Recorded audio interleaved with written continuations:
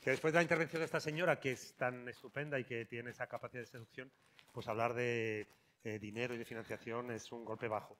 Así que muchas gracias por venir y sobre todo con, esta temperatura y esta ciudad, yo creo que es mucho más seductor y mucho más estimulante estar fuera. Pero bueno, lo dicho, que muchas gracias por, por, estar aquí eh, a esta hora, el último día, que es verdad que no es, digamos, la, la mejor de las circunstancias. Entonces sí que tenéis que cambiar totalmente de registro. Venimos de una jornada unas jornadas, mejor dicho, desde ayer que empezó, donde lo que ha habido es presentaciones casi todas teóricas ¿eh? y además eh, con, contenidos muy sexys, como se dice ahora en la jerga, eh, europea y con mucha capacidad de, de, appealing, como de, llamada y, ahora, bueno, pues tenemos que, hablar de eso. Pero esto de ser los últimos también tiene cierta ventaja, lo hablaba con Manuel a la hora de comer, porque todo lo que habéis oído, todo que efectivamente está en el campo de la casi de la, de la retórica, en el buen sentido de la palabra, casi académica, todo eso se puede transformar para algo tan prosaico, tan banal puede ser y tan antipático en algunos casos como es pedir dinero. Lo siento. Todos los proyectos que han estado aquí y los que tenéis entre manos necesitan algo tan elemental como es la financiación. Lo decíamos ayer, no ayer cuando hablamos con, con, con Rodrigo. No estamos en, la, eh, en una república italiana eh, del siglo XVI, eh, no tenemos mecenas, entonces tenemos que buscar dinero en la concurrencia competitiva. ¿vale? Y la concurrencia competitiva son una serie de papeles que hay que rellenar, una serie de condicionamientos, una serie de requerimientos, una serie de objetivos, y eso es lo que hay que adaptarse a lo que ponen estas, digamos, estas este tipo de ayudas. ¿Cuál es la diferencia con las que normalmente vosotros manejáis ¿Ah? Sí. Vale. Bueno, pues que, ¿cuál es la diferencia con las que hemos estado viendo? Pues las nuestras tienen un valor añadido que yo creo que le hace también más interesante y más complicado, que son ayudas europeas. Es decir, que obligatoriamente tienen que tener transnacionalidad. Es decir, que tienen que trascender un poco del ámbito nacional o del ámbito regional, puesto que estamos en la comunidad autónoma de Extremadura. Ello no impide que la mayoría de los casos que conocemos vienen de entidades pequeñitas. ¿eh? No lo identifiquéis al Museo del Prado, ni al Reina Sofía, ni a las grandes instituciones, porque se da la paradoja de que eso no suele ocurrir. ¿eh? Tenemos, tenemos, excepciones honrosas, que además las conocemos bien, lógicamente, porque las hemos impulsado mucho nosotros, pero no, es, no, no, hay que desalentarse de proyectos europeos, qué rollo, esto está hecho para, para las grandes organizaciones. No, no es así. Entonces, ¿cuál es la ventaja, como os decía, de estar ahora en la última parte de la, de, este, de este foro? Bueno, pues que, insisto, todo lo que se ha mencionado, se ha hablado de género, se ha hablado fundamentalmente del tema de la, del tema de la ruralidad y del tema del medio ambiente. Todos estos topics, eh, por emplear de nuevo la jerga, están recogidos, lógicamente, en las, en las, en las convocatorias europeas. Es decir, que todos esos temas que habéis manejado y, la mayoría de vosotros magistralmente eh, son digamos, topics que se pueden integrar a vuestros proyectos culturales. Ya os digo de antemano, cuidado, que lo queremos dejar bien claro, que el proyecto no tiene que ser un proyecto feminista, ni un proyecto ecológico, ni un proyecto de digitalización, ni un proyecto de movilidad mixta. Tiene que ser proyecto, nosotros estamos en un programa, que es lo que vamos a hablar, ya empiezo a aterrizar, un programa de cultura y un programa de ciudadanía. Luego estamos una buena noticia, que Manuel se va a encargar quizá de esa parte.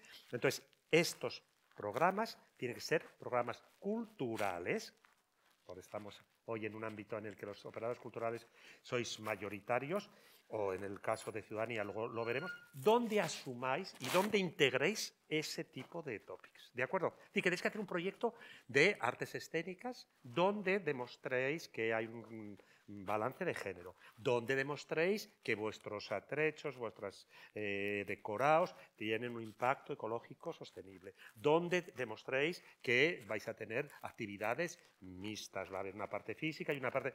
Pero cuidado, lo de poner el carro delante de los bueyes, no, tenéis que poner en marcha proyectos culturales en los que tengáis que tener en cuenta este tipo de... Ay, perdón, es que al subírmela es cuando me la quito.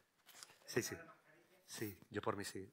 no os mando ahí, y a ti tampoco. Estoy vacunado, ya soy muy mayor. Bueno, entonces, eh, es que se me cae y, es por lo que cambio el, micrófono. Entonces, bueno, pues esa es un poco la propuesta que os venimos a hacer. Nosotros somos la oficina de información, el punto nacional de contacto de dos programas europeos. El programa Europa Creativa guion cultura, lo digo porque sabéis que hay Europa Creativa guion media, que va el tema audiovisual, y del programa, y esta es la gran novedad, un programa que se ha aprobado y que nos han nombrado Punto Nacional de Información apenas hace una semana, del nuevo programa CER, C-E-R-V, Ciudadanía, Igualdad, rights, derechos y valores. Ahí se nos abre un, campo extraordinariamente estimulante y estamos en sentido muy, muy ilusionados porque, bueno, pues porque desde que nos han nombrado nos tenemos que poner la pila y aprendernos las convocatorias y aprendernos toda todo el papelorio. Entonces, este programa, que quizá el que a vosotros os interese, el programa Europa Creativa Guión Cultura, ya ha tenido todo ese proceso burocrático. Lo, lo, solemos decir en este tipo de charlas. Estos programas, hablo ya del Erasmus, hablo del programa LIFE, hablo de todos los programas europeos, que sabéis, os los digo, que tiene una vigencia de siete años, estábamos empezando el periodo 21-27, Lógicamente, con la pandemia, todo lo que tenía que haber ocurrido en otoño del 20 se ha retrasado y, lógicamente, ese retraso ha llevado pues, a lo que todos sabemos, que el sector cultural está casi en, estado, en, estado de, de premuerte. ¿Cuál ha sido la única ventaja de este retraso? Pues que el sector cultural, es decir, vosotros, se ha movilizado a nivel europeo, lógicamente los políticos no pueden permanecer, entendemos, insensibles a, esa demanda y esa, inquietud. Y el presupuesto que se preveía eh, teórico eh, al inicio se duplicó. O sea que había 1.800 millones, que es little money ha comparado con otros proyectos, con otros programas, pero bueno, mejor 1.800 que nada. Ese se ha convertido en 2.600. Es decir, que actualmente hay un presupuesto para el programa Europa Creativa de 2.600 millones para el periodo 21-27 para los dos programas y para todos los países, pero son 2.600 millones. Entonces, ¿cuál era la secuencia? Y eso os interesa, sois gestores culturales, lo tenéis que saber. No podemos estar al margen de todos estos procesos, de eso se sabe más mano y quizá lo, lo concrete mejor que yo. Todos estos programas dependían de una financiación que venía de, un plan muy ambicioso que se llama el nuevo marco financiero plurianual. Ese New Pluriannual Frame Program tenía una parte de su rosquillita que iba destinada a financiar programas europeos, el Erasmus, el Europa Creativa, el Cuerpo Europeo de Solidaridad. Bueno, pues ese programa, eh, ese marco europeo plurianual se aprobó el 14 de diciembre. El 16 de diciembre se aprobó el programa Europa Creativa. Todo eso está en nuestra web perfectamente eh, explicado. Y después de la aprobación, ¿qué es lo que estamos y estáis esperando? Que se dote de base legal. Y se, ya tiene un reglamento. Está colgado en nuestra web y ese papel ya está available. Ya lo podéis consultar. ¿Qué es lo que esperábamos? Y esperábamos que fuera hoy, o ayer, o hace una semana, que se, que se publicaran las primeras convocatorias. Esto no ocurrió. Pero ya os podemos decir de que basta vaina, os lo podemos decir todo. Entonces, ¿qué es lo que recomendamos? Pues que manejéis los papeles de la última convocatoria del programa Europa Creativa 2020, 14-20, la última del 2020, que veáis de qué iba, porque ellos lo dijeron bien claro, este programa, este periodo 21-27 no va a ser una revolución, va a ser una evolución.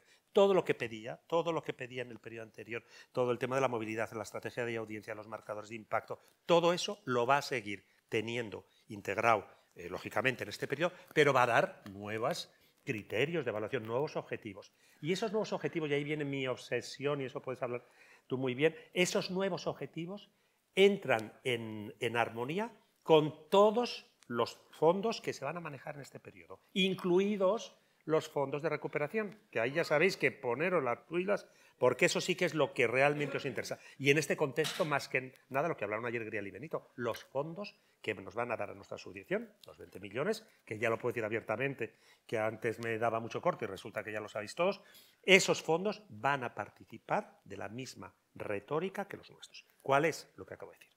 Temas de género, temas de del Pacto Verde, hoy no se ha hablado más que de esto, no se ha hablado. Y además a mí me ha interesado mucho porque la idea que yo tenía del Pacto Verde se ha estado completamente cuestionada durante este foro. Porque lo que yo creía, ha habido muchos ponentes que lo han cuestionado. El tema del género, exactamente igual. Lo que entendemos eh, es un concepto tan ambiguo, el gender balance, pues todo el mundo sabe lo que es la paridad. Pero aquí ha habido una mesa donde la paridad se ha cuestionado de tal y como nosotros lo entendemos, los que somos un poco, un poco profanos. En fin, todos esos temas nuevos, insisto, movilidad mixta, digitalización, temas de género y temas de pacto verde, van a estar absolutamente presentes en este programa 21-27, eh, lógicamente junto con los demás, los demás programas, incluidos estos fondos de nueva generación o de, o de recuperación. ¿Cuál es el consejo? Que empecéis a trabajar ya, porque se van a convocar o pasado mañana o mañana pasado y la fecha de entrega de, la, de este año 21. ¿eh? O sea, que los que os pille eh, con el pie cambiado lo podéis hacer el 22, el 23, va a haber programa hasta el 27. Y entonces, estos, eh, digamos, una vez que, se convoquen, tenéis que tener ya muy avanzado el proyecto, porque un una iniciativa europea son como una gestación, no se improvisa de la noche a la mañana, tenéis que tener seis o siete meses, buscar socios. Entonces, el consejo era, los decíamos siempre, estamos en una bisagra, no estamos ni para el futuro, porque no tenemos convocatoria del 21 y la del 20 se terminó, pero sí que podemos decir muchas cosas. Y esas cosas son, mirad todo lo que pasó, en el periodo anterior, y con esto que os contamos ya podéis eh, tunear. No es una palabra de verdad frivolar lo de tunear. No estoy frivolizando ni ninguneando, porque son temas de un calado como para hacer bromitas. Pero digo en el sentido de que podéis intentar adaptarlos, intentar eh, eh, canalizarlos por estos, por estos nuevos derroteros. Y luego ya, si bajamos un poco a lo que es la propia convocatoria, pues cuáles son las buenas noticias, grosso modo. Pues las buenas noticias son que los proyectos puros y duros, que son los que vosotros os interesan, que son los proyectos de cooperación, porque el programa tiene traducción, tiene plataformas, tiene redes, pero la mayoría a vosotros interesa los proyectos de cooperación, que si os acordáis eran los grandes, los pequeños, los grandes tres países, los pequeños seis, 200.000 euros, hasta 2 millones de euros. Ahí había ciertos escollos y el, el, gran escollo era la cofinanciación, porque estos programas son eh, subsidiarios y como movilizo yo 40%, como movilizo 50%. Bueno, pues eso se ha incrementado. Es decir, que los proyectos pequeños, de pequeña escala, que eran los de tres países y los, que, se os podía dar un tope de 200.000 euros, ¿vale? Ese, y que esa categoría específica tenía un 60% de cofinanciación. Pues se ha subido al 80%. Esa es la buena noticia ya el 20% entre 3, 4, 5 y 6, la cosa es mucho más manejable. La parte burocrática, ellos también se lo saben mejor, yo aquí hago populismo, a mí me parece que debe ser, yo para eso soy de un optimismo eh, eh, eh, casi enfermizo, es para mejor, ¿vale? O sea, que los papeles y, las, y, las, y, y los formularios yo creo que van a ser razonablemente más sencillos y luego, mm, bueno, pues va a haber más dinero. Entonces, estas son, digamos, ya me callo, las tres ingredientes.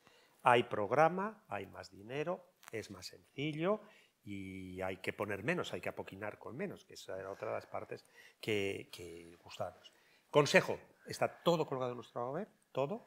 Eh, para vosotros, miráis, eso es algo que hacemos siempre. Viene alguien con un proyecto de arte barroco, miramos, hay montones de proyectos. Viene alguien como Rodrigo, que hace performance, hay proyectos muy grandes, por cierto, de performance, em, eh, vamos, digamos, de, perfil absolutamente contemporáneo, que han sido eh, financiados. Es decir, que encontráis precedentes y, que veis que, digamos, que, ya hay proyectos financiados de vuestro, de vuestro perfil. La mayoría luego tiene una web, podéis mirarlas, incluso podéis eh, contactarles, porque yo creo que es una buena manera de hacer, de hacer agenda. Pero vamos, esa es un poco la, la digamos, la información global. El temor a los papeles, nosotros somos la oficina de informaciones, es nuestro trabajo gratuito, ayudamos, hacemos consultoría, hacemos esto de hoy más ordenadamente y con un PowerPoint muy, muy, muy chulo. Y luego lo que hacemos mucho, mucho, y eso sí que os lo recomiendo y está todo colgado, es capacitación. Eso lo sabéis mejor que nosotros. El sector cultural ya no quiere que le digamos lo que os he dicho yo muy mal de proyectos grandes, pequeños, dos millones, eso lo pilláis como todos, eh, con una primera lectura, porque está, esa, información está disponible en cientos de web, pero sí que adolecemos de cómo hacer un plan de negocios novedoso, cómo hacer lo que os he dicho, una estrategia de audiencias, cómo hacer un tema de marcadores de impacto, cómo hacer un tema de temas legales. Estaba aquí Patricia eh, Gaveiras, ella nos dio una charla de cómo hacer un buen proyecto donde tengas en cuenta los royalties, qué pasa con la doble imposición fiscal si tu proyecto va aquí o va allá, qué pasa si hay una creación en el marco del proyecto, quién tiene la propiedad. Todo eso todo eso nosotros formamos, por supuesto, nosotros no, pero eh, contactamos con expertos y damos talleres de capacitación. Y todo eso es absolutamente vigente para este nuevo periodo. Estamos, ya os digo, a la espera de que nos digan ya la guinda del, la guinda del, la guinda del, del pastel, pero básicamente es así. Y luego, no olvidéis de verdad que este es un programa de proyectos culturales. Pero, ya le paso la palabra a Manuel, pero este nuevo programa, estoy como es verdad, como la señora esta mañana, que paso, paso, paso y no me callo. Eh, que eh, eh, si la cultura es un término extraordinariamente maleable y versátil, si tienes un poco de destreza puedes meter iniciativas de, perfil muy variado, la ciudadanía podéis meter todo, todo. Y ahí de nuevo, lo cuenta Manuel, tenemos más pasta y ahí estamos con temas de LGTBI, con temas de violencia de género, con temas de protección de la infancia, con temas de todos esos temas que están, cualquiera que hable un periódico lo van a tener, lo van a ver. Entonces, esos dos programas tan capilares, tan molones, y somos nosotros los que lo gestionamos.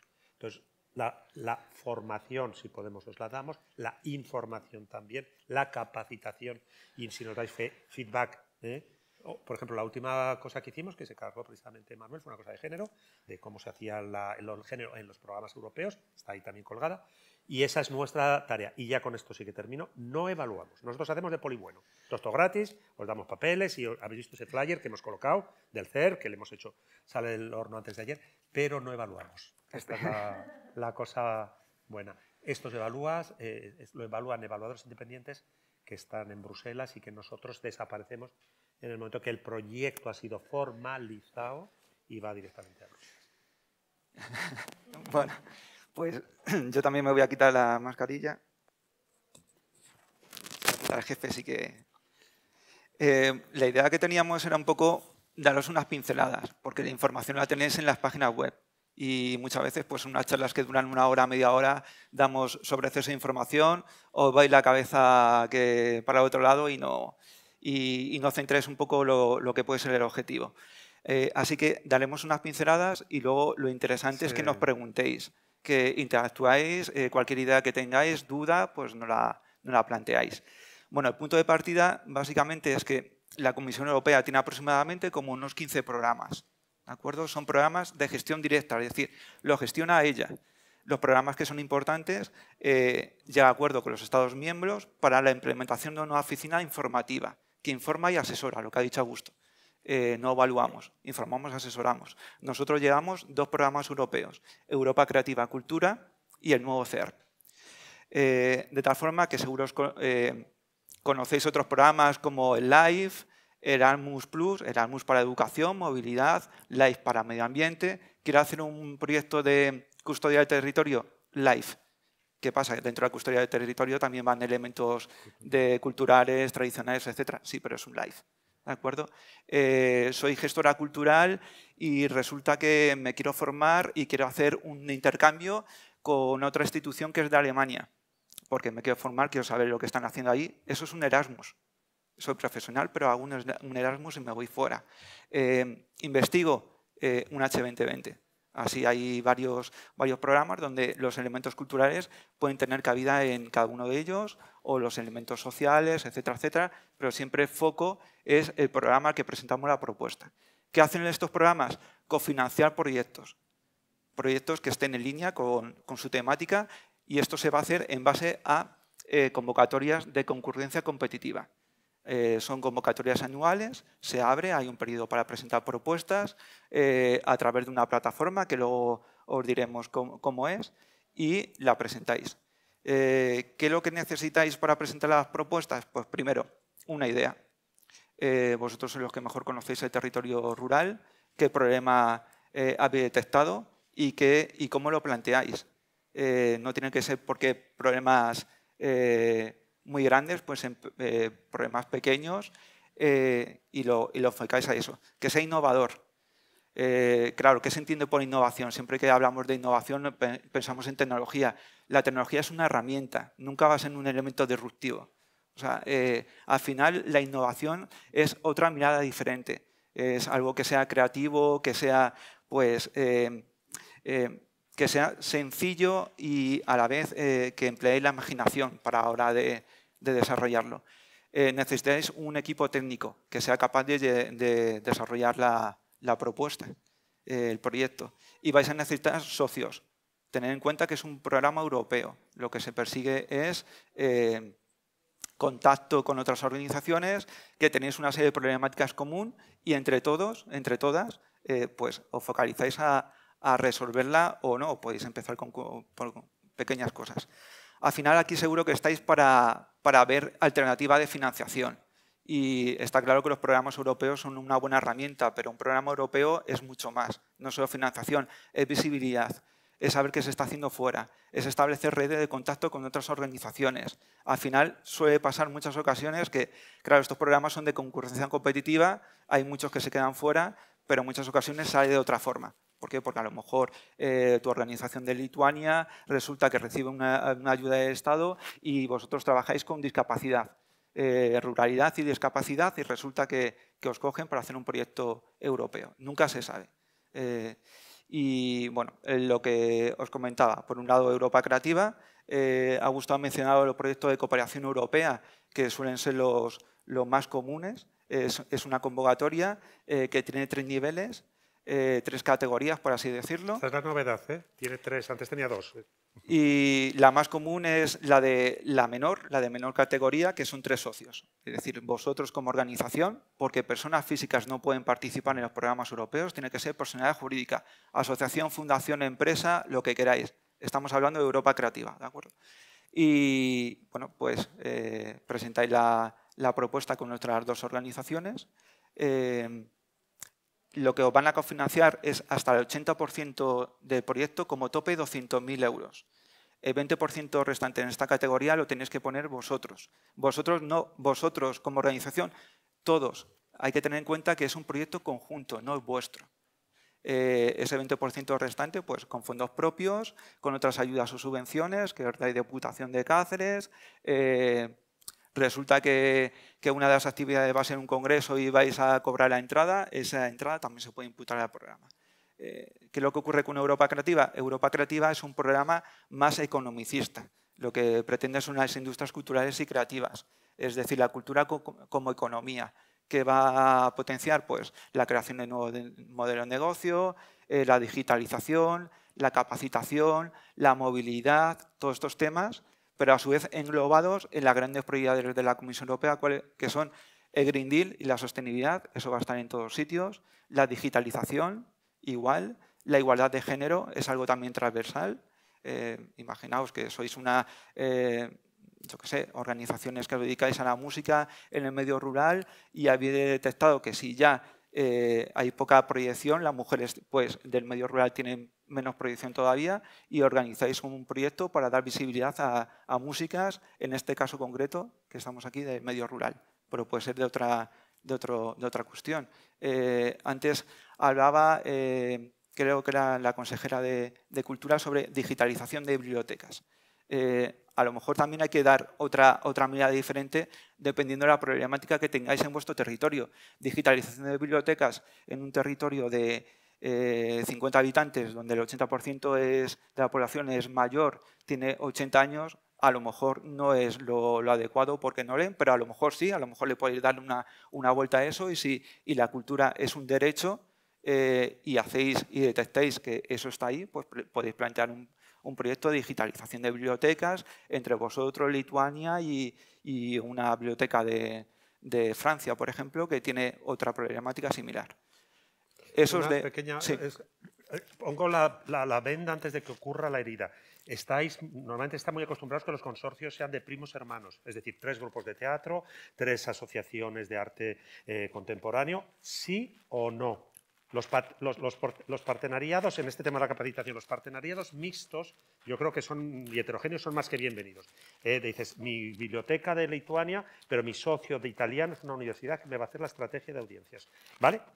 Porque cuando hacéis tres festivales como este se funde todo un presupuesto. Entonces, puede haber la implicación de un socio que no, no, reciba ninguna actividad en el sentido de un gasto eh, eh, obvio, pero que va a hacer un papel crucial, porque cada socio tiene que tener una tarea crucial. Y siempre decimos que los partenarios tienen que responder a criterios de oportunidad y no de oportunismo. ¿Qué, ¿Por qué voy a poner este? ¿Por qué es el que mejor va a hacer esto? ¿Y por qué hago este otro? ¿Por qué es el que va...? Pero quiero decir que cada uno tiene que contribuir en la medida de su experiencia, pero no tiene por ser siempre los mismos. Tú puedes tener un socio que es un socio tecnológico, por ejemplo, que es una de las cosas que el sector cultural adolece porque no, no nos movemos bien en ese, en ese, terreno. Bueno, pues todo esto, tenerlo también en cuenta, no penséis solo en términos de, tiene que ser igual que yo, sí o no.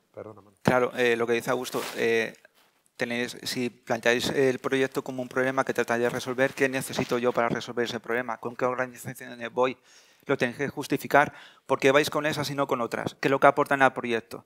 Eh, ¿Qué valor añadido tienen? Todo eso eh, hay que justificarlo dentro del proyecto, porque el socio no, es, no va simplemente como acompañante. El socio es una parte fundamental del proyecto que le va a dar coherencia.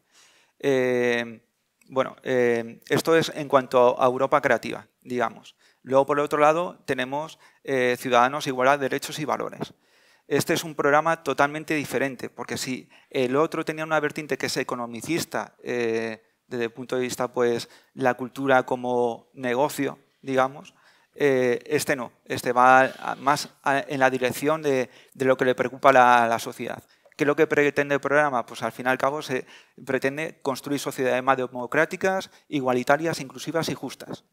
Sí, sí, empezar ya, empezar ya cuando crees. No sé, él puede, es que la C, te lo dije ayer, la C es ciudadanía. Eh, Nos juntamos con Daphne, y con, pero la C se mantiene igual. Antes estaba Europa con los ciudadanos, eh, que eran cuatro líneas, hermanamientos, eh, red de ciudades, eh, proyecto a sociedad civil y memoria histórica. Y se ha fusionado con otro programa que no había punto de información, que era igualdad, derechos y valores. Pero la C es igual, o sea, el programa de ciudadanía va a quedarse exactamente igual con lo que ha dicho Manu, pero nos meten bajo el mismo paraguas con este de derechos y valores, que ahí van los términos, los que os he dicho. Bueno, cuéntalo tú. Ahí ahora mismo, por eso hicimos la jornada corriendo. El día que nos nombraron, el mismo día que hicimos toda esa ceremonia tan protocolaria, perdón, tan protocolaria, eh, eh, la historia fue que eh, nos, pusimos ya a hablar, porque hay nueve convocatorias abiertas. Nueve. Entonces ya hay que estudiárselo, porque nos pueden llamar por teléfono. Entonces, ese ¿eh? es lo que os puede contar ahora Manuel. Ese tiene también unas posibilidades extraordinarias, pero como dice él, como dice Manuel, perdón, no es cuestión de es todo para non profit. ¿eh? Aquí tenéis que ser eh, organizaciones sin ánimo de lucro, al contrario que Ahora hacemos también una, a eso una puntualización y os comentamos, pues Europa con los Ciudadanos, igual de derechos y valores, se crea un nuevo programa eh, con más aportación económica. Total unos 1.500 eh, millones de euros que tiene de, dotación para los siete años, porque son programas que duran todos siete años. Eh, si antes teníamos todo esto de hermanamiento, red de ciudades, proyecto de sociedad civil, que era un elemento transversal, que al final al cabo es la participación ciudadana en el diseño de políticas europeas, pues ahí se podían plantear proyectos de, de hecho, hay muchos de, del ámbito rural, de desarrollo rural, de igualdad de género, pues de de racismo, etcétera, etcétera, o de, o de migrantes, que tenemos un problema, yo qué sé, la Mancomunidad de la Sierra de San Pedro eh, presentó un proyecto mm. que era de resiliencia y pacto verde, cómo la ciudadanía puede eh, intervenir en la formulación de políticas medioambientales y plantear una red de ciudades, entre ellos como Mancomunidad y otra serie de organizaciones de en total 10 países europeos, ¿vale? En total.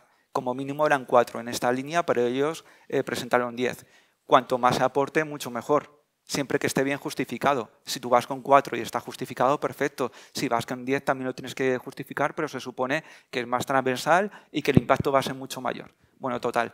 Eh, esto, todas estas, digamos, estas líneas se amplían con otras nuevas con otras nuevas que tienen que ver con la violencia de género, con la igualdad de género, con combatir el racismo, la xenofobia, la discriminación LGTBI, digamos, todas estas grandes políticas están insertas aquí.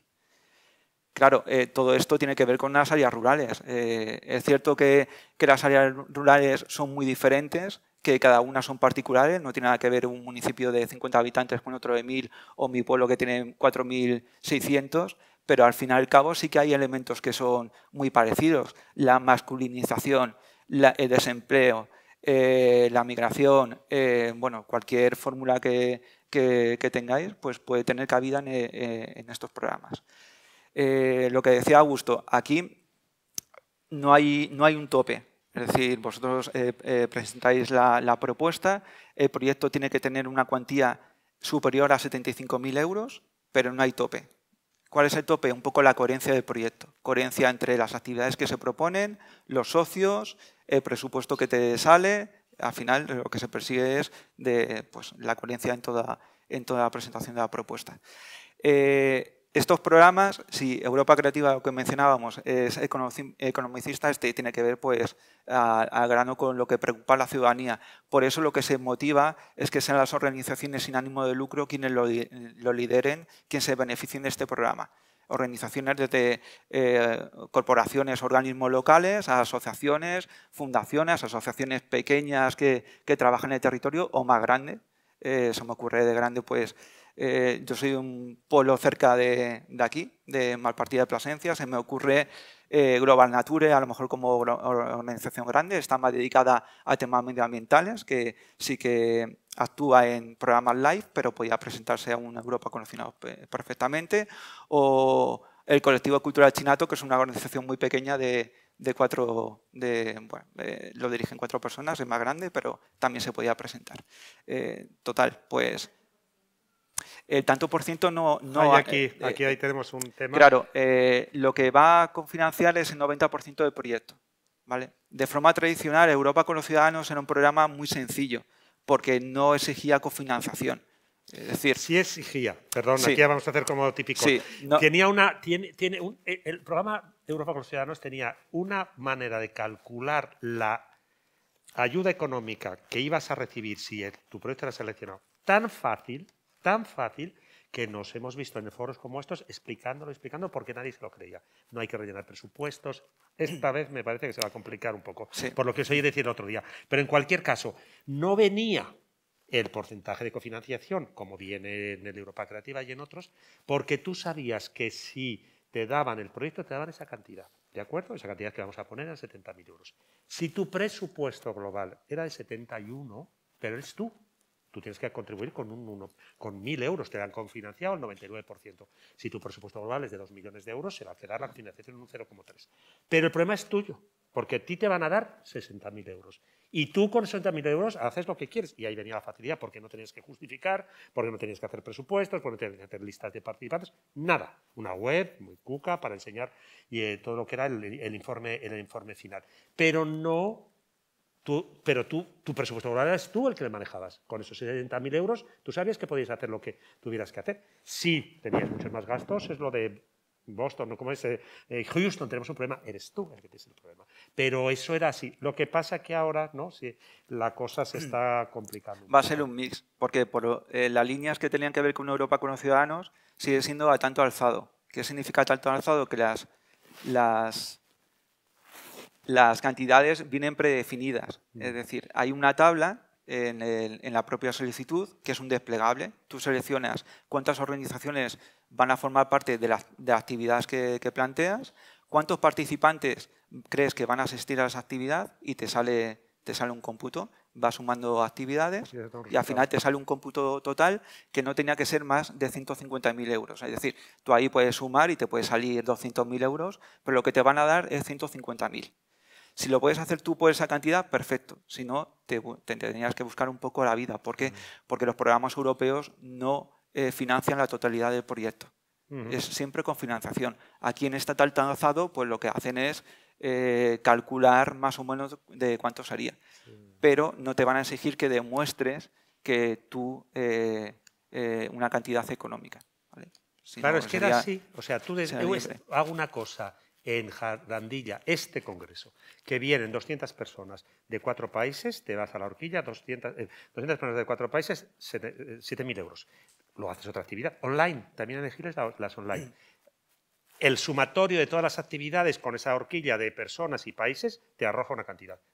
70.000 euros. Lo insisto, esos 70.000 euros son los que te iban a dar. No vas a rellenar un formulario de gastos de personal, gastos indirectos, eh, gastos de viaje, de alojamiento. Nada ni en la fase de solicitud ni en la fase de ejecución. No te van a pedir nada. ¿Qué ocurre? Que eres el ayuntamiento de Malpartida, sois la asociación que tenéis que, tenéis que luego, eh, ¿cómo se dice?, eh, eh, reportar a vuestros respectivos organismos. Mejor que tengáis los papelitos debajo de la mesa, pero no os los van a pedir ni en solicitud por eso lo teníamos que explicar, porque es muy, muy friendly user, muy sencillo. Y tú con esos 60.000 euros, pues sabías que te ibas... Es que son rácanos y las, las, digamos, las, las, las, horquillas eran más bien a la baja, pero sabemos de casos que casi se lo financiaron al 100%, cosa que no se puede teóricamente. Pero si hacen una buena economía y lo, se lo montan bien, con el dinero que les daban, llegaban al, al 100%. Pero es por eso, en la base legal del programa, viene que es eh, de cofinanciación, que es subsidiario, pero no te pone con Europa Creativa lo que os he contado, 20, 40, 50, no viene, le haces tú. Para algunos va a cofinanciar a un, porcentaje altísimo y para otros pequeñísimo, porque los presupuestos globales son los que son y cada uno, a unos son más dispensiosos, otros son más ratitas, pero sois vosotros, con los 60.000 euros o los 60 o los 150, ¿eh? que teníamos cantidades de esas en Europa con los ciudadanos. Y esto se mantiene, pero ahora sí que ponen un Word, que es lo que estamos viendo ahora, donde sí que te tienes que poner paquetes de trabajo. Creemos que eso, pues estamos en fase de aprendizaje, ¿no? Y yo creo que Manu ahí sabe, sabe más. Creemos que quieren controlar más la ejecución del proyecto, ¿vale? De que, que pongáis a priori pero lo que es la parte económica, que es la parte engorrosa, la parte, eso es extraordinariamente sencillo. Porque es... ¿Perdón? La duración de, de proyecto va a depender un poco también de la necesidad del propio proyecto. Hay unos límites que son de, de 12 a 24 meses. ¿Vale? Pero va a depender un poco de las necesidades y del presupuesto que te salga. Claro, el presupuesto determina un poco también el, la, duración del proyecto. Si tú al final planteas tres actividades y te sale 50.000 euros, no lo vas a poder alargar dos años, porque no te va a dar 50.000 euros para dos años. No te va Nuestro objetivo aquí es, porque estamos, ya veis, a final de la jornada, es transmitiros la idea de que la financiación europea es muy variada que no por ser gestores culturales tenéis que ir exclusivamente al programa Europa Creativa Cultura, que queremos que vengáis, que identifiquéis el dispositivo financiero que mejor se adapta a vosotros. Es decir, quiero renovar, Rodrigo, no me para abajo, mi nave que he comprado y hay fondos FEDER. Quiero eh, restaurarla y hay fondos FEOGA. Quiero dotarla de, actividad cultural y hay programa Europa Creativa. Quiero hacer reuniones de ciudadanos y hay el programa Europa con los ciudadanos. Quiero hacer temas de ecología y temas de, medio ambiente, hay el programa LIFE. Quiero traer alumnos, hay el programa Erasmus. Pero es que quiero traer alumnos que no tienen formación, hay el programa eh, Erasmus para, para adultos. Es decir, que el abanico es muy amplio, ¿de acuerdo? Y que son muy parecidos muy parecidos. Estoy haciendo populismo. Y no son muy difíciles. ¿eh? Mucho más difíciles lo que estáis haciendo cada día en vuestros respectivos trabajos. Me consta. Tienen esa reputación de que efectivamente son difíciles. Para eso estamos las oficinas, para allanar ese terreno. Y luego, bueno, vosotros solitos. Entonces, esa es un poco la idea hay financiación europea. Luego están las ayudas de la Junta de Extremadura, las del Ministerio de Cultura, los fondos estos, que esos hay que tener las antenas puestas, y luego estamos nosotros, ¿de acuerdo? Y nosotros estamos en todo ese, en, todo, en todo ese, ese, ese, abanico. Claro, lo que sí que tenéis que poner es, si voy a ciudadanía, tengo que poner el énfasis de mi propuesta en lo que pide el programa de ciudadanía. No vas a hablar en uno de ciudadanía, aunque nos han venido muchos proyectos que hablan mucho de alumnos. Si son de alumnos, iros a Erasmus. Pero si esos alumnos hacen fotografía, viene de nosotros. Es decir, que a la hora de, redactar tenéis que tener una cierta agilidad, pero vamos, es bastante, bastante sencillo. Y luego, otra de las cosas que hacemos es intentar buscar, esa palabra de sinergias está ya tan, tan usada, intentar buscar puntos de conexión con otros programas europeos que no son nuestros, pero que tienen líneas que pueden ser de interés para vosotros. Hacemos cosas con Erasmus, pero no en Erasmus global. Erasmus lanzó una convocatoria para jóvenes y CCs, Industrias Culturales y Creativas. Hacemos cosas que en el Horizon 2020, que se llama Horizon Europa, porque tiene un reto 6, que ahora se llama el Cluster 2, que va a temas de la sociedad civil, papá. Pa, Es decir, que intentamos que otros, intentamos, ¿sabes?, que elastificar las posibilidades de información para vosotros. Nosotros nos debemos a los, a nuestros parroquianos, que sois vosotros. Cuando invitamos a Erasmus, no queremos que nos cuente todo Erasmus, queremos que nos cuente la parte del Erasmus que os interesa. Lo mismo pasa con el Horizon, ex Horizon 2020. Tienen cosas fascinantes de reservas de la biosfera y del oxígeno. No, no. A nosotros nos vais a contar aquel reto 6. Es decir, que ese, ese, ese tema de la, del, de, la identificación de qué fondo te puede interesar, yo creo que es el mensaje elemental que queremos. y luego ya decir, ¿queremos Europa con los ciudadanos? Pues venir para nosotros. Sí, intentamos daros un poco de, de, formación. ¿Que queremos un horizonte? Pues esta es la dirección del horizonte. Sí, pero no paramos de viajar. Los puntos nacionales, en Erasmus sí, nosotros solo somos Madrid. El punto nacional está en solo Madrid. A toda España. Sí, de correo electrónico, eh, por, eh, por, llamada o videoconferencia con cita previa. Em, a ver, para puntualizar algunas cosas, em, importante, eh, portal Funding Attenders. Ponéis en Internet Funding Attenders, portal de, de oportunidades de financiación y licitación de la Comisión Europea ahí salen todas las convocatorias de todos los programas o otra fuente de financiación. Funding and tenders. Porque lo que, tenéis, dice, lo, que tenéis que, lo que hemos dicho, y eso sí que es... De financiación. No, espera un momentito. Lo que es obligatorio, obligatorio es que para participar de todos esos programas que acabo de mencionar, tenéis que tener un carnet de identidad, un número. Si no tenéis ese número, un PIC number, no podéis bajar, que ahora no se baja el formulario, no podéis trabajar en el formulario. Eso es obligatorio. Que vosotros hagáis algún programa europeo, lo tenéis que pensar. Es muy fácil hacerlo desde la mesa, muy difícil hacerlo desde vuestra parte porque tenéis vuestras rutinas cotidianas. Pero lo que sí o sí es daros de alta en este portal, que es lo que dice Manuel, y tener vuestro numerito. Y ese número, en el caso de que haya un líder, en el caso de que queráis formar parte, luego es la última parte de nuestra intervención, en el caso de que, queráis formar parte de un, de un proyecto donde hay un líder, un coordinador, no te va a decir quién eres tú, te va a decir, dame tu PIC number. Y lo va a meter en el formulario. Eh, punto europeo de ciudadanía, si ponéis punto europeo de ciudadanía, eh, hay una parte que es el nuevo programa CER, dentro de ahí cómo participar. Y viene totalmente descrito, hay un tutorial, un vídeo también y ahí tenéis la, información. PIC. PIC. Con P.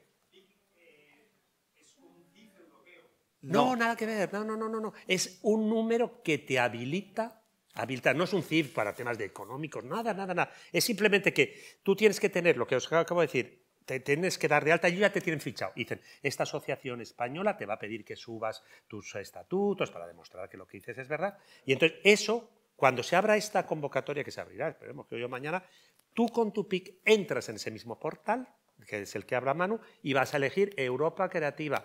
y ahí ya te bajas el formulario. Exactamente. Exactamente. Y eso, como dice Manu, eso lo tenéis que hacer todos. Se lo mando a Olga, que es ella la que tiene que A ver, eh, para, en, esa web, en ese portal. Para poder participar en programas europeos, eh, como hemos dicho, son las organizaciones quienes participan. Lo primero que hay que hacer es registrarse. Eso es. En este portal Funding Tenders hay un apartado que es login. El login es de carácter individual porque es en abierto esta, esta plataforma, pero hay una parte en la que tienes que iniciar sesión. ¿Por qué? Porque en esta plataforma, aparte de convocatorias, van a figurar búsqueda de socios, van a figurar resultados, van a figurar beneficiarios, etc. De, tal forma que hay determinadas aplicaciones, por así decirlo, que los tenéis que eh, iniciar sesión. Eso es por un lado. Iniciar sesión es muy sencillo. Correo de cuenta, eh, contraseña, confirmáis en un correo que recibís y ya estáis logados. Luego, por otro lado, está registrar la organización. Hay un apartado dentro de este portal donde es el registro de participante. Ahí cliqueáis y vais a poner una serie de datos de vuestra organización. Nombre, personalidad jurídica, eh, cuántos trabajadores o trabajadoras están, trabajan en una serie de información. Y esto lo tenéis que justificar. ¿Cómo lo justificáis? Con estatutos, con la ficha de entidad legal, etcétera, etcétera.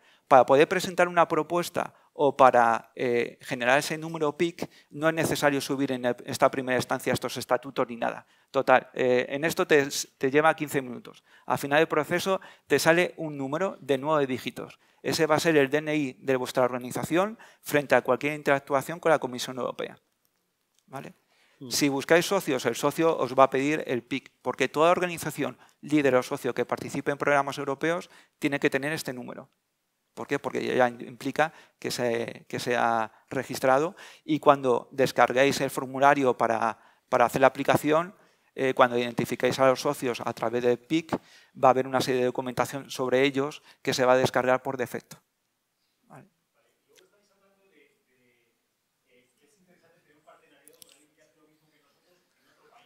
Obligatoriamente. Interesante, es obligatorio. es decir, el proyecto, los proyectos europeos están basados en consorcios, en un partenariado. Uno juega el papel de líder, ¿de acuerdo? Es el que va a centralizar todo, el que va a rellenar ese formulario, pero va a meter la información que los socios le dan. Vamos a hacer una simulación. Vosotros sois una entidad extremeña que se llama Ruralidad y Género y queréis hacer un proyecto eh, de Europa Creativa para los proyectos pequeños, eh, identificando eh, en el sureste de Europa por qué el tema del género es menos, digamos, tiene menos representatividad que los países nórdicos, que es algo que yo creo que además es verdad. La asociación con su PIC number, cuando se abra esto que se abrirá mañana, empieza a meterse en el formulario, ¿vale? Y empieza a trabajar y va a meter el pick del italiano, del sueco y del tailandero y del montenegrino, porque Montenegro es un país participante, eso lo tendríamos que ver en una sesión que tengamos, tengamos más tiempo. Se supone que trabajéis conjuntamente, ¿no? que consensuáis. Y entonces vais a decir, yo me encargo en la implementación de este proyecto de hacer los talleres, yo me encargo de hacer la eh, plan de medios, yo me encargo de hacer las masterclass, yo me eso lo negociáis vosotros, porque sois los que manejáis el concepto de género y ruralidad. Estoy haciendo eh, la, digamos, la,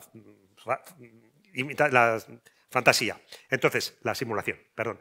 Entonces, ese, ese, formulario se va rellenando, por supuesto, no le entregas a la primera, vas salvo, salvo, salvo, salvo, como hacemos con los, con, con los papeles. Lo bueno y lo excitante es esa negociación con los socios, porque claro, es ahí donde eh, tenéis que atar bien y tenéis que tener todos, mm, digamos, pues, pues, que la cosa parezca empastada, porque uno de los criterios que vale el evaluador es calidad del partenariado. Si ve que uno de los socios tiene una contribución completamente gratuita, dirá la calidad del partenariado es desbalanceada. Se ve muy claro que es un proyecto nacional que le maquillan, algo que nos preguntan mucho. Yo es que tengo un artista que viene a, a tocar mi orquesta. Eso no es un proyecto europeo, eso es una movilidad. Todos tienen que tener un papel decisivo y que se vea muy bien. Aunque por eso os decía que poníamos la venda antes que ocurriera la herida. Ese papel decisivo no tiene que ser obligatoriamente hacer el otro Consejo Rural y Mujer en su país. Puede ser que va a tener el seguimiento de todo el proyecto haciendo un buen plan de medios y puede estar en su despachito de ese país. ¿vale? Entonces, eso es el, formulario, que es, es lo que va a ver el evaluador. Y el evaluador va a tener en su mesa cuatro criterios, la relevancia, la calidad del partenariado, el plan de medios, y él va a ir evaluando poniendo una nota y poniendo unos comentarios. Y si va a ver que, hay que no es original, porque es eso, tres grupos de teatro, España, Francia y Portugal, hay miles de residencias, hay miles. Tenéis que buscar esa relevancia, ese valor añadido, esa originalidad. Y ahí, bueno, pues sois vosotros los que le dais a la pelota. os ayudamos a medida de nuestras posibilidades, porque no controlamos todos los, todos los temas. Entonces, eso, esa foto de familia, dice quién es usted, de dónde viene, qué ha hecho, qué hace cada uno, qué calendario, tiene que tener un reflejo presupuestario, ¿vale? Porque luego el evaluador va a decir, tienen un encuentro en, en, Jarandilla. ¿Dónde están los gastos de hotel? Los gastos de las cámaras, dónde está el alquiler de las salas, dónde están los, eh, los honorarios de los ponentes. Eso lo tienes que poner, lógicamente. Entonces, eso es lo que... Ah, eso es lo que teóricamente eh, eh, va a Bruselas en un solo formulario y es lo que le, le. Luego cada maestrillo tiene su librillo. Nosotros solemos recomendar como oficina la identificación del core de la propuesta. ¿Por qué habéis decidido que el, vuestro tema es el género y la ruralidad? ¿Por qué? Tenéis que demostrar que estáis capacitados para abordar este tema, vosotros y el resto de la partenariado. ¿Cómo os alineáis con los criterios? El programa te va a decir que lo que busca es eso, estrategia de audiencia, papá, papá, movilidad. Tenéis que alinearos, pero no una carta a los Reyes Magos, os alineéis porque el proyecto efectivamente eh, eh, va por ahí. No es que, no es que os lo, lo inventáis, no es una cosa gratuita. Entonces, una vez cuáles son las herramientas que vais a emplear para la buena ejecución de este proyecto. Y luego un presupuesto. Estoy haciendo todo muy básico. Pero digamos que esa es un poco la, dificultad de los programas europeos. No, ya Reino Unido no entra. Los 27 Estados miembros, eh, hay otra serie de países que se están negociando ahora. Eh, por ejemplo, en el anterior programa de Europa Creativa eh, en cultura participaba Ucrania, los países balcánicos, Túnez, hay cosas que se van eh, renovando todos los años, siempre los 27 Estados miembros, y ahora a ver qué países participan. Pero pueden participar en, calidad. Eso yo lo recuerdo cuando lo dijo Carmen Calvo, dijo, lo ha pillado la primera. Es un país tercero. Tú tienes un proyecto europeo de Europa Creativa, tenías, ¿eh?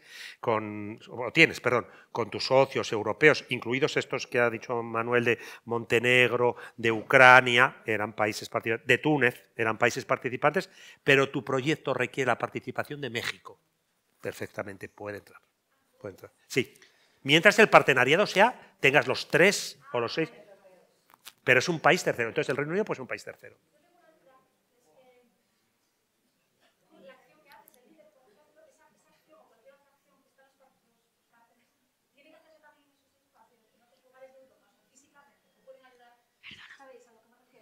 No. Sí, es porque graban. Hola que si la propia acción se tiene que hacer en esos tres países. Y fuera, y sí, o no, sí. O no, o pueden estar, ¿sabes? O sea, pues se puede hacer, imagínate, yo tengo un proyecto en la Ribeira Sacra, ¿no? Bastante sí, sí. grande. Y entonces trabajo con Portugal y con Francia. Sí. Pero yo tengo que hacer este proyecto en Portugal y en Francia. No, no, no, es ese proyecto. Es, eh, tienes que, lo que hemos hablado, tienes que detectar un, un problema o aprovechar una oportunidad que tiene tu sector, ya sea música y género o cualquier otro motivo. Y entre todos los socios le intentáis dar una, una, una vuelta. Y lo podemos hacer en un lugar, es a lo que me No, no, no es un lugar, es una serie de actividades enfocadas a resolver ese problema. Sí, pero él ya dice, eh, pero eso vería, ahí nosotros te diríamos, cuidado con este tema, porque si todos en la Ribera Sacra, si tú no demuestras que los otros dos que no hacen nada en sus países no están bien implicados, el evaluador va a evaluar. Por supuesto, o sea que lo mejor sería que es coherencia, haciendo actividades en los tres espacios, en los tres países. Es. coherencia, tú vas con esos socios europeos por algo, porque y al final tiene que ser un, proyecto de dimensión europea. Eso es. O justificar en qué medida esa organización participa en ese proyecto y por qué. Antes, por ejemplo, como tú comentabas, pues resulta que eh, voy con una empresa italiana que es puntera y está haciendo plataformas para que participe la gente, etcétera, etcétera. Y esa empresa no es cultural, pero es, una, eh, eh, es necesaria su expertise para que forme parte del mm. proyecto. Al final es todo complementarse entre Lo que os recomendamos es echad un vistazo en nuestra web, insisto, está todo colgado, paso a paso, porque si empezamos a hablar de capacitación, sin saber si hay aquellos, eh, empezar a poner el cuadrito de decoración sin tener los cimientos, paso a paso. Eh, leer la convocatoria de Europa Creativa 2020. Es muy fácil. No me vengáis con que es una. No es verdad. Es una literatura, ni es literatura jurídica, ni es literatura comunitaria. Eh, te dicen esto mismo que decimos nosotros, mucho más ordenado. Leed, una vez que ya habéis leído la del 2020, lo que acabamos de decir, que no sabemos todavía mucho, pero cuáles son las prioridades de la agenda, vamos, del periodo 21-21-27. Y lo que es crucial es en la fase, en el epígrafe de resultados, meted eso, género y no sé qué, discapacidad y artes visuales, porque ahí van a venir todos los proyectos seleccionados atendiendo a estos dos criterios de búsqueda. Eso todos. Luego todos nosotros tenemos informes solo de aquellos en los que haya una entidad española y tenemos estadísticas por comunidad tono. Quiero ver cuántos gallegos. Pues vienen los gallegos. ¿De acuerdo? Pero un poco con un cierto con un cierto orden. Por eso, porque si empezamos a hablar de cómo hacer una estrategia de audiencias, sin saber si vas a ir a un proyecto pequeño grande o cuáles son los requerimientos, ahí el tema es de que puede ser un poco caos, ¿no? Y tener una cierta, una, un, cierto orden. Este año a lo mejor nos da tiempo, o sí. Y luego, perdón, y con eso sí que hacíamos el colofón. Una manera buenísima de ver qué es esto es viendo en nuestra web, en el capítulo de búsqueda de socios, las entidades que buscan socios en España. Porque eso ya ves, tú dices, vas a ver que va a haber un epígrafe, de artes escénicas, no hay mi rollo, eh, artes visuales, no hay mi rollo, pero patrimonio sí. Entonces ves patrimonio y ves la entidad y la ficha. La descuelgas y ahí vas a ver qué buscan, dónde están, quiénes son. Es la entidad de otros países que busca socios en España. Y ahí hacemos un poco de agencia de matrimonio, ahí en los datos, y tú les escribes y les dices, oye, he visto esto, me interesaría entrar en contacto, en contacto con vosotros. Porque entrando como socio, efectivamente es una manera mucho más fácil que si. Eh, eh, eh, ¿Sabes? Hacer el, liderazgo tiene complejidad.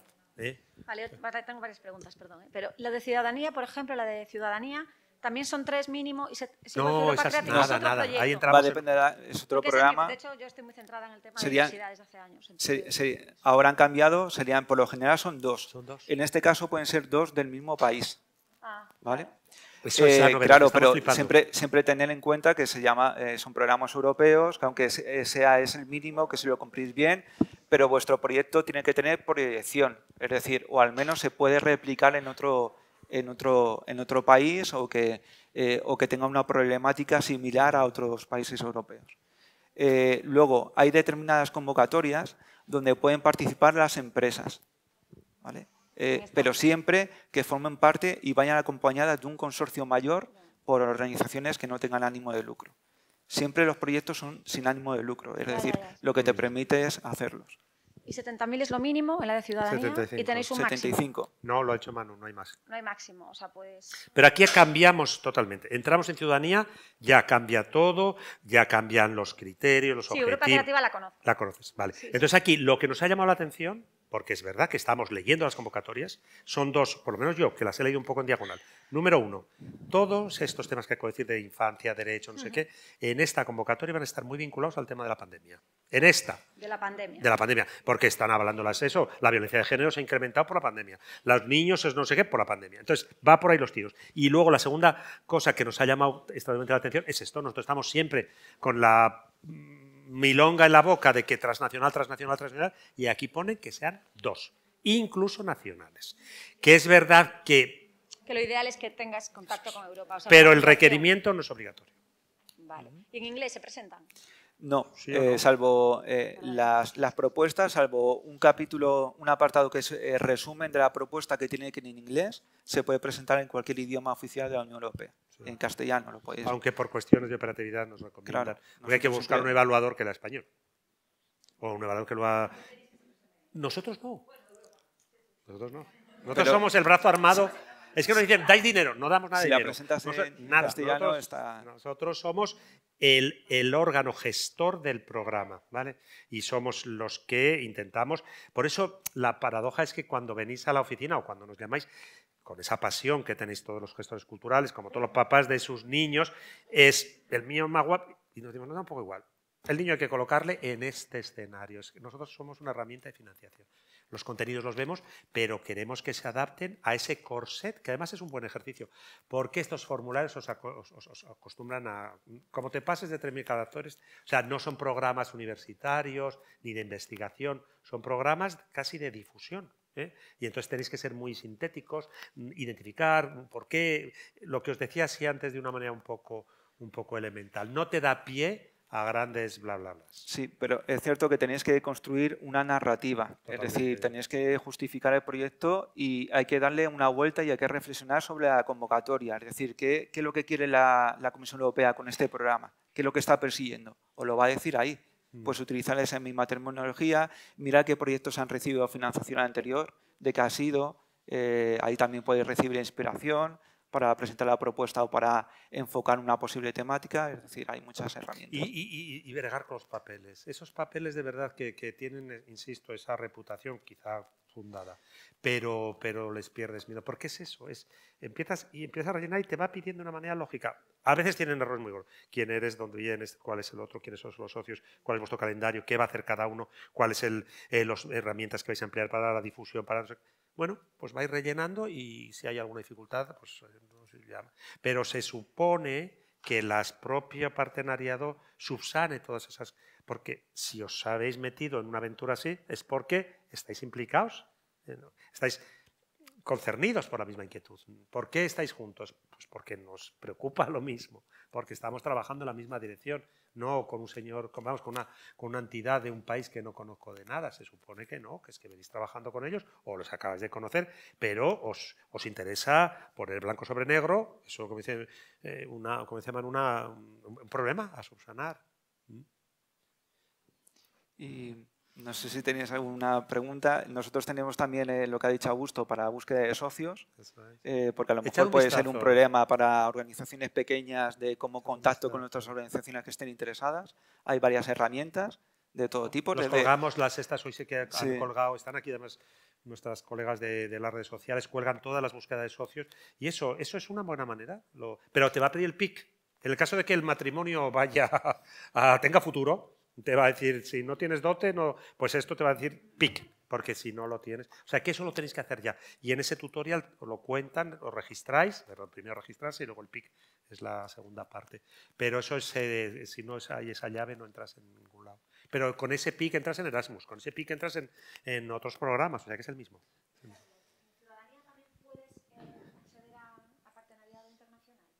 En ciudadanía también. o sea,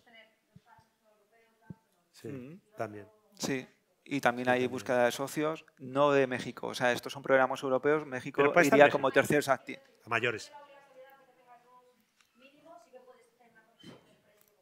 Lo- ahí no sí, yo, mira, el, el- el- el- el- el- el proyecto Así Estrella era un proyecto gallego que era Santiago UNE, de Red de Ciudades, y estaba Santiago de Compostela, Santiago de Chile, perdón, Santiago de Chile, Santiago de Cuba, pero el partenario era europeo. Ellos venían de lo que acabo de decir antes. O sea que tenéis que justificar por qué están, pero luego el tema de los gastos y eso en ciudadanía no es como en cultura.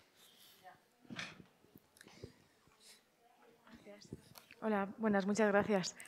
Eh, la forma jurídica, la asociación, es mejor que sea una asociación que lleve ya más tiempo, aunque Ah. sea, da igual, ¿no? Da igual. Se pedía antes dos años de existencia a todos y ahora ha desaparecido y solo se le exige al líder. Dos años de constitución. Pero el líder tiene que tener esos dos años. Lo- creemos que se mantendrá en este periodo, estoy casi seguro. Vale. Pero los demás se pueden haber constituido ayer. Y puede ser Ministerio de Protectorado de Funcionarios, eh, eh, la Junta de, vamos, en la Consejería Interior de, de contar que tengas, tienes que tener un, un número. Claro, es que, eh, vamos, tenemos una asociación en el pueblo donde vivo que tiene ya una historia bastante larga, ¿sí? Pero es muy general, pues es una asociación cultural. Pero ya cultural te, te- te blinda. Luego van a ver los... los eh, o sea, lo que van a ver Claro. si es la facultad veterinaria. Es decir, veterinaria y cultura, pero una asociación cultural no creo que se miren. Perdón, porque a lo mejor es que no lo estoy explicando bien. Tenéis que tener, eh, digamos, un, estar registrados legalmente en uno de los países participantes y demostrar que estáis vinculados, a la, vinculados al sector cultural. ¿Vale? Lo tú no va a haber problema con asociación cultural. Pero la facultad de veterinaria va a tener problemas porque su actividad fundamental no está en el ámbito cultural. Pero a lo mejor resulta que tiene una fundación, la Facultad de Veterinaria, cuyos estatutos especifican que efectivamente la cultura tiene un papel relevante. Si lo pueden demostrar, para adelante. Pero Claro. insisto que en tu caso, O sea, yo es que a lo mejor quiero mezclar arte y cultivo de setas. Entonces, pero pones por delante arte. Las Claro. setas vienen después. Claro. Pero, pero para que esté vinculada al medio rural y para que sea... Perdón. que sí, que es como que, que es la forma de mezclar arte y agroecología. O sea, Eso que es. la- la- el objetivo es. Nosotros decimos siempre que el orden de factores sí que altera el producto. Vale. Si pones por delante la agroecología, no quiere decir una broma, ya no te vas, te, alejas de la cultura. Pero si es arte, y para llegar al arte, lo que han dicho hoy, los tintes, las artistas estas que han hablado, los tintes, las materiales, las plantas, la jardinería, súper bienvenido, pero al servicio de una actividad cultural. Porque lo otro entraría, se, saldría del foco de acción del programa Cultura y entraría, pues eso, en un live o en otro tipo de, de programas que no son nuestros y que, que seguro que encuentras acomodo también. Nosotros eso lo que decimos siempre es, si queréis ir a cultura tenéis que redactarlo para que entre. Si no queréis, aquí está este programa o este otro, o lo redireccionamos a otros programas europeos, en nuestro caso. Gracias. Sí. Perdona, estaba antes. Em, antes, cuando nombrasteis varios de los programas, uno era FEDER, ¿no? Y después dijisteis otro que son los FRON. No, eh, el FEDER no es un programa, es un fondo. es un fondo. Ah, Eh, hay- es diferente, están los programas de gestión directa y los están fondos europeos que generalmente los, los gestionan los Estados miembros, Lo los reciben y los gestionan. Y fondos nombrasteis FEDER uno que no, que no conocía, el FRON, ¿puede ser? No, yo he dicho, Ah, pero yo se me he hecho, el- la- he el hecho- fr- he hecho algo de. FROM a lo mejor es el de, el de pesca. A, Horizon. Ah, no, vale, pues. él cree que yo he dicho FEOGA, pero que Eso, lo he dicho pues. a- feo, eso es otra cosa de la Te lo PAC. inventaste. que- Lo que inventé, es diferente. No lo inventé, existe, ¿eh? pero le metí ahí de relleno y muy listo. Pero, por ejemplo, los fondos líder, que los gestiona Lo el Grupo de. Acción Local en los territorios rurales. Para restauración de un inmueble tienes que ir a FEDER. Y eso es FEDER, FEDER. FEDER y eso tenéis que ir a dar la bulla a vuestra comunidad autónoma, porque lo gestiona la comunidad autónoma. Vale, es que y normalmente dicho es las consejerías de economía. ¿No? Bueno, tú De sabes más- Hacienda, más. Fondo Europeo de Desarrollo Regional. ¿vale? Lo gestionaría Haci- Eso Hacienda. tú bueno, metes la web ver en Asturias quién hace los fondos FEDER. Eso... Y curiosamente, que esta es una pelea que viene de lejos, aunque sean proyectos culturales. O sea, lo vuestro va a ser una cosa cultural, pero es Hacienda quien decide. No pide, yo he estado en reuniones de estas de colegas europeos y a la hora de tocarme a mí el turno, decir, yo no tengo nada que decir, mientras que muchos de mis colegas, de nuestros colegas europeos, en, el Ministerio de Cultura había un- una oficina de FEDER, porque había proyectos culturales. Y a nosotros nunca nos han pedido ni informes ni nada. Ellos creen que la restauración de tú lo pueden hacer ellos sin pedir un informe, a lo mejor a la Consejería de Cultura, que diga, pues es viable, no es viable, o es para un fin que no tiene ningún interés. No. En España todo lo gestiona directamente o el Ministerio o la Consejería. ¿Perdona? Es, eh, quería preguntar por el- si se recibió una ayuda europea, por ejemplo, fondos líder para una asociación Sí. y ya llegaron al, al nivel de mínimes, ¿no? Por, por- Sí, no, sí. entra, o sea, esto no, En Europa Creativa no, no, no pasa nada. No No, pasa hay nada. no líder. pasa nada, esos son No. independientes Líder. de Lo único, líder. y lo dijo también- también Grial, eh, porque los fondos que ellos van a hacer, estos de lo que contaron ayer nuestros compañeros de los fondos de recuperación, yo creo que van a estar muy inspirados en Europa Creativa. Tiene mucha lógica, mucha lógica, porque, porque vamos todos un poco en esa, en esa misma, apuntamos todos en la misma diana. Entonces, eh, ella dijo, y nosotros repetimos, que lo único que no se puede presentar es el, el mismo proyecto a dos iniciativas europeas, porque se incurriría en doble financiación. A ti no te pueden, eh, te pueden dar dinero por alumnos eh, eh, actores y por actores alumnos, porque lo van a ver. Entonces, lo que sí que puedes, claro, no, es hacer un proyecto que encaje en cultura y otro parecido, bueno, no parecido, que encaje en educación. Pero mismo con ese título, porque lo va- te lo van a pedir, esa información te la van a pedir, cuáles son las ayudas europeas que ha tenido los tres últimos años. Y te va a decir, y dígame el número de referencia de su proyecto entre la base de datos, si ya te lo han dado, eso invalida. Sí, pero vamos, lo demás, los mínimos, no funcionan. Vale, gracias. Nada. ¿Damos por concluido esa sesión? Sí, ya está. No avanzamos otros. Gracias.